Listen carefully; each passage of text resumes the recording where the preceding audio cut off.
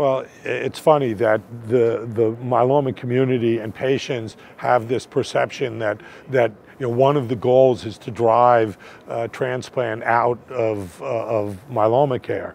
And maybe one day that, that will happen, but there has still been no study that has shown transplant based therapies to be inferior to anything else.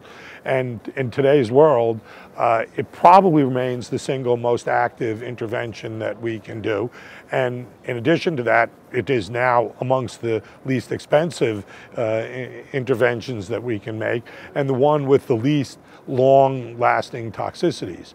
So the idea that it is something that needs to be gotten rid of I, I, find a little bit objectionable. And whether it is going to remain the platform on which we build, Mm, probably in the short term it will.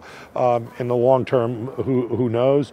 But, but again, the, the emphasis should be on that the perception that transplant is a dangerous modality that is incredibly toxic has never been supported and continues not to be supported by the, the data. Again, extremely low mortality rates, extremely low levels of long-lasting toxicity, and now lower toxicities and lower costs, you know, the, these, these are two things that, that this is exactly what the medical world wants. So I don't see transplant going away anytime soon. I think we need to change our attitudes about it a little bit rather than, you know, drive it out of our armamentarium.